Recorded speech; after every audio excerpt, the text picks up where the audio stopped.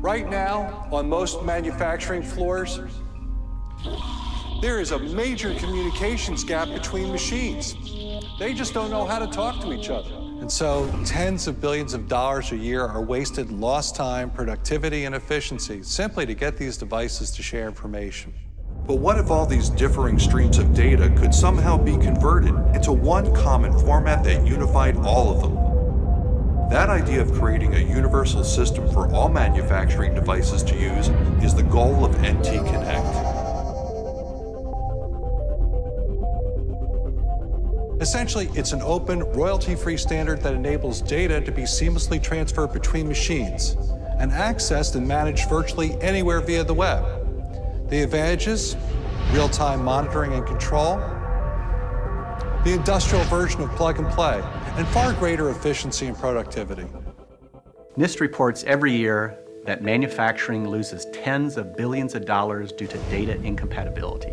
MT Connect addresses this challenge in two ways. Number one, MT Connect is based on open and current internet standards.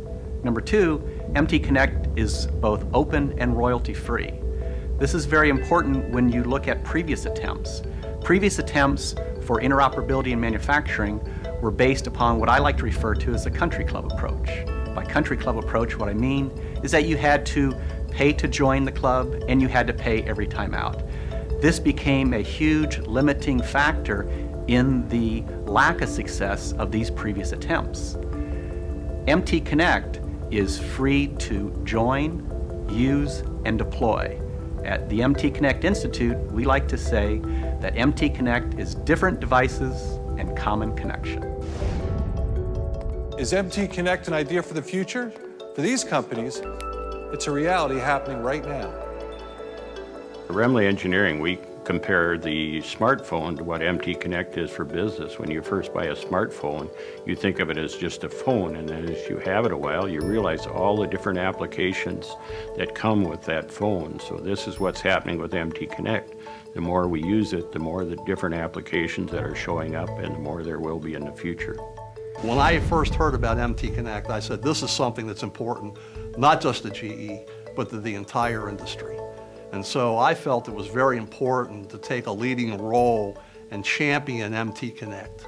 Um, looking back over the last couple of years, I would say the amount of progress we've made, both in terms of engagement across the entire supply base, all the way from the OEMs to the control folks, and all the way to the users and the application developers.